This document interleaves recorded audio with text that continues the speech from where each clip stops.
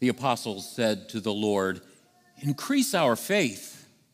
The Lord replied, If you had faith the size of a mustard seed, you could say to this mulberry tree, Be uprooted and planted in the sea, and it would obey you.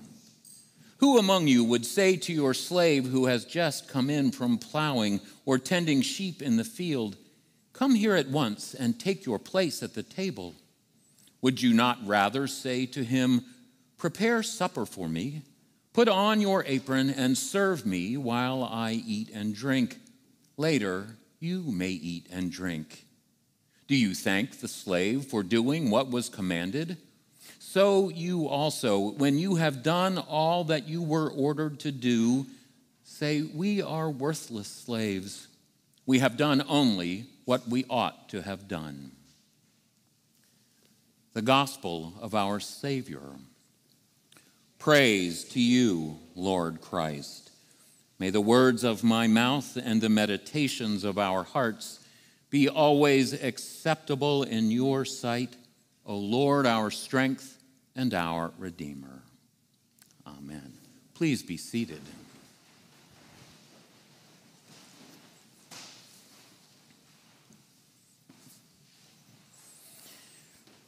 If you had faith the size of a mustard seed, I don't know how many of you have seen them. I see them a lot. Little glass globes with a teeny tiny little mustard seed inside. People wear them around their neck. They often get used in Sunday school as a prop to help teach this lesson. I think that's a wonderful metaphor, a beautiful image. But there's a downside to that as well. If you had faith the size of a mustard seed, you could tell this mulberry tree to be uprooted and move to the sea, and it would obey you. But what if you tell that mulberry tree to move and it doesn't? Does that mean that something is lacking? In you? Does that mean that your faith is deficient? Lots and lots of people use this scripture and others like it to pass judgment on other people's faith. I hope you haven't heard these words, but I've heard them. If you only had faith enough, that would not have happened. That would not have happened to you. It would not have happened to your child, would not have happened to your parents. If you only had enough faith, you would have made it through that trial. You would have succeeded in that thing you're trying to do. And this beautiful metaphor, this idea of faith in God, gets used as a weapon and used as a way of judging others. Now, reading this passage on its surface, that might seem like a reasonable way to interpret it. But I have to tell you that that doesn't make sense. That doesn't work. It's not consonant with the rest of what the Gospels say and other things that Jesus teaches and tells us. So we have to look again and see if there's something else going on. I read that line pretty straight a few moments ago. And I wish that I had been a fly on the wall, and I wish that someone we knew had been there so that they could see Jesus' affect and hear the way he intonated that sentence to know how his disciples responded. But here's how I hear it Lord, increase our faith. If you only had faith the size of a mustard seed, you could tell that mulberry tree to get up and move to the ocean, and it would obey you. Faith. Faith doesn't have anything to do with the ability to perform miraculous acts. Faith doesn't have anything to do with being able to manipulate and control the things around us. Faith means trust belief. And so I hope that when the disciples came to Jesus and said, Lord, increase our faith, They were asking him to help them believe that he was who they thought he was. To believe that he was the manifestation of God in the world, and the way that he was interacting with them and the world around him is the way that God interacts with us. They were asking Jesus to help them to believe that they could, in and through him, find a way to live a life that was somehow infused with the eternal. But I don't think that's what Jesus thought they were asking because he goes right to mustard seeds and mulberry trees and things moving from dry land to the ocean. I think he knew what they were asking for. They were asking for something very different than trust and belief in who he was and what he was saying. I think that interpretation is borne out by the next place that Jesus goes.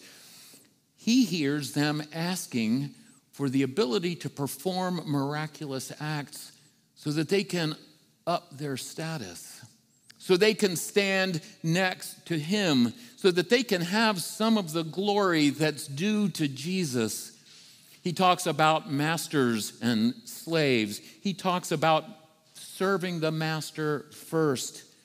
He's telling them that he will take care of those hard things.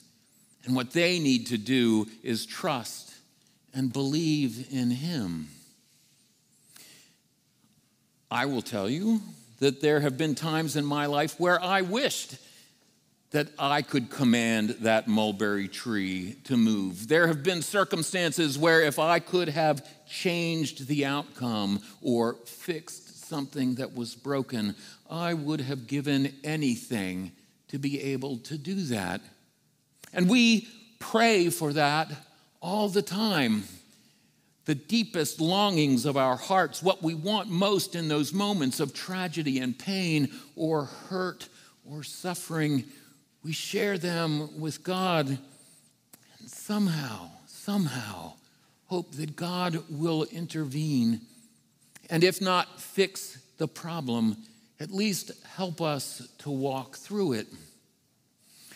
I have talked to people who believe that God has intervened on their behalf or on behalf of someone in their life and a miracle has occurred. And I would never question those experiences.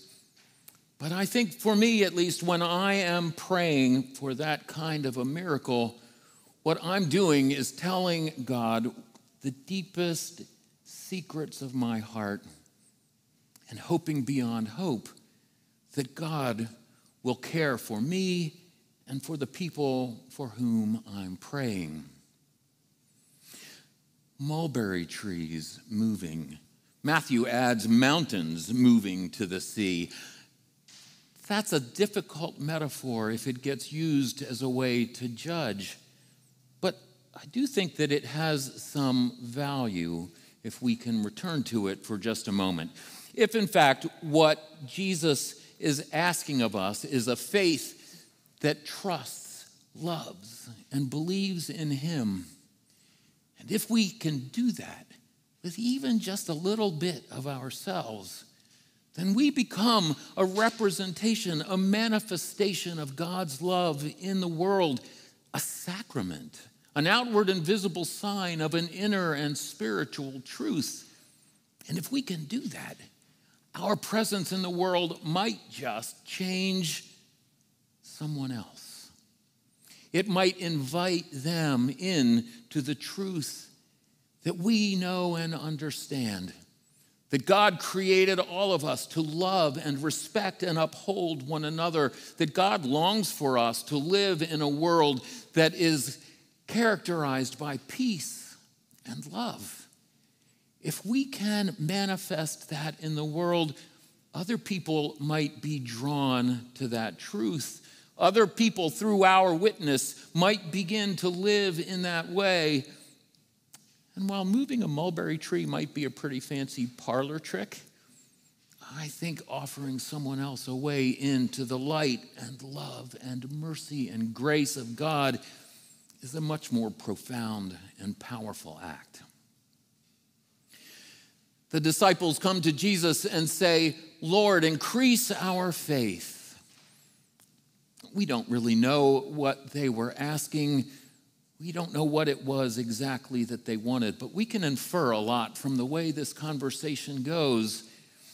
And I think the first thing we need to do is step away from the temptation to think that bad things happen because people are bad or lacking or wanting in some way. It didn't happen because their faith wasn't strong enough. And then the next thing that we can do is to let the faith that is within us, the trust and belief in and love of God, radiate manifest, shower upon the people in our lives who are struggling with that faith, wondering if, in fact, God does love them in the midst of that tragedy, and help them to see that God does. Lord, increase our faith so that our faith might light the way for others and their faith might be increased, and that their faith might light the way for still others and others and others. And soon, someday, we'll all be standing together in that faith, in that love and light and mercy and grace of God. Amen.